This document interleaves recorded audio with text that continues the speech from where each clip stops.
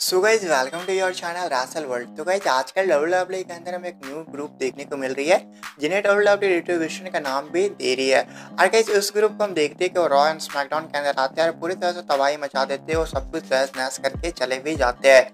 लेकिन W W ने अभी तक उन ग्रुप का आइडेंटिटी नहीं बताया। कि उनके पीछे कौन है, कोई भी नहीं जानता है।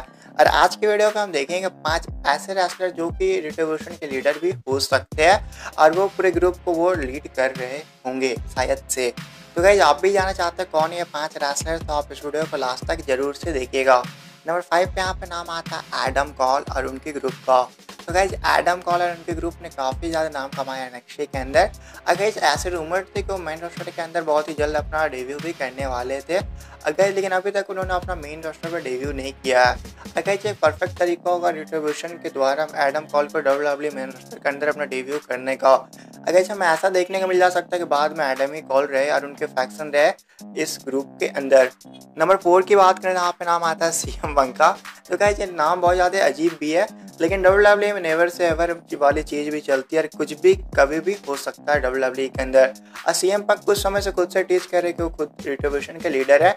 हालाँकि इसके चांसेस बहुत कम है, लेकिन शायद से सी एम पंक भी हो सकते हैं। नंबर थ्री की बात करें तो हमें यहाँ पर कोई न्यू फैक्शन देखने को मिल जा सकती है। और न्यू डेब्यू विंग सुपरस्टार भी देखने को मिल जा सकते हैं। और गाइज़ यहाँ पे हमें ऐसा देखने को मिल जा सकता है कि काफ़ी सारे नए रास्टर जो कि ना हमने कभी एन के अंदर देखा था, ना ही कभी डब्ल्यू डब्ल्यू के अंदर देखा था, और कोई न्यू न्यू टैलेंट आ जाए इस ग्रुप के द्वारा। नंबर टू की बात करें तो हमें यहाँ पे रॉ अंडरग्राउंड के सुपरस्टार जो कि देखने को मिलते हैं, वही सब रिट्रीब्यूशन के ग्रुप में भी हो। तो गाइज़ रिट्रीब्यूशन एक बहुत ज़्यादा तगड़ी ग्रुप है, और गाइज़ रॉ अंडरग्राउंड में काफ़ी तगड़ी फाइट होती भी है। तो हमें, और वो भी नहीं हुआ है भी नहीं आई है। तो हमें ऐसा भी देखने को मिल जा सकता है कि रॉ अंडरग्राउंड के जो रेसलर रहते हैं, वो शायद मेन रोस्टर पे आके अटैक करते होंगे, और मैन रॉ स्मैकडाउन जब चलती है, वो समय आके अटैक भी करते होंगे, और वहाँ पे इतने आदमी रहते शायद वो सब में से भी कोई पूछ सकते हैं। नंबर वन की बात करते हैं, यहाँ पे नाम आता था बिग डॉग रोमन रिंग्स का। तो भाई रोमन रिंग्स भी डब्ल्यू डब्ल्यू को छोड़ के गए थे आपका मार्च के आसपास, सुमिनिया थर्टी सिक्स में ही। उसके बाद से अभी तक रोमन रिंग हमें डब्ल्यू डब्ल्यू के अंदर देखने को नहीं मिले हैं। ऐसे रूमर्स आ रहे थे कि जब रोमन रिंग्स अपना रिटर्न करेंगे, तब हील सुपरस्टार भी रहेंगे। अगर अगर रोमन रिंग को हील बनना है तो ये परफेक्ट वे भी होगा। और इससे फैंस और ज़्यादा एक्साइटेड हो जाएँगे रोमन रिंग्स को देखने के लिए हील के रूप में। क्योंकि इससे ज़्यादा रोमन रिंग और भी काफ़ी तगड़े भी लगेंगे।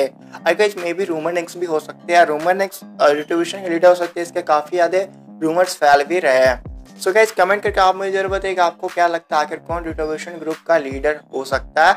और वीडियो पसंद आगा छोड़ेगा लाइक कीजिएगा, चैनल को सब्सक्राइब करना बिल्कुल भी मत भूलिएगा।